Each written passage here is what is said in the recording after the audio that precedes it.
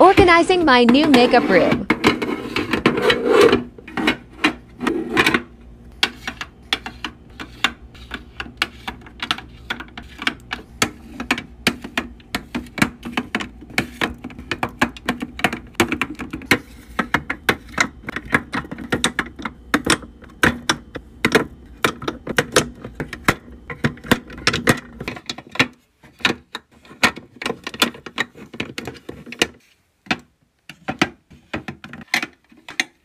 Go to part 2.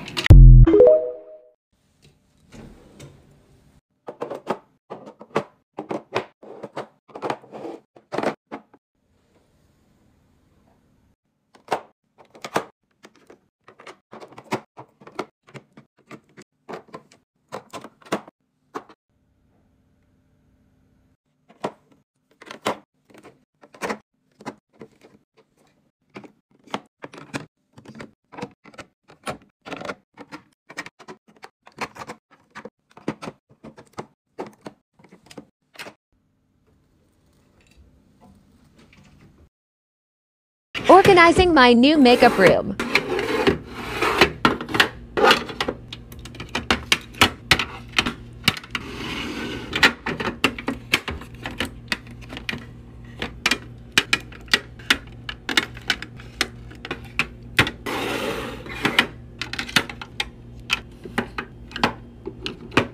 Go to part 4.